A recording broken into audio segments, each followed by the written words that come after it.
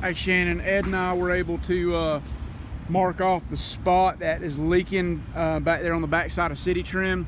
We are able to pull exact measurements up here and came just about directly overhead this hole. This is literally a hole, whereas you have these stretch cracks or stress cracks all the way across this roof that are all allowing a little bit of water in, no doubt. Um, but again this one right here is just about right in line with the uh, leak that we're seeing inside so.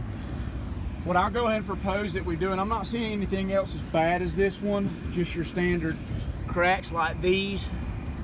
Um, I'll just propose that we pull five feet in either direction of that mark right there and use this same silicone based system.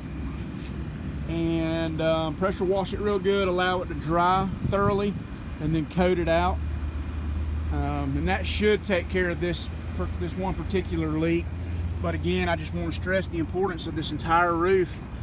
It's about to be too far gone to be able to recover it. And then when that happens, and this insulation board underneath this membrane starts taking on too much moisture, this whole entire system will have to be torn off and a whole new um, roof put on because it will be to um, it, it, won't be able to be recovered at that point.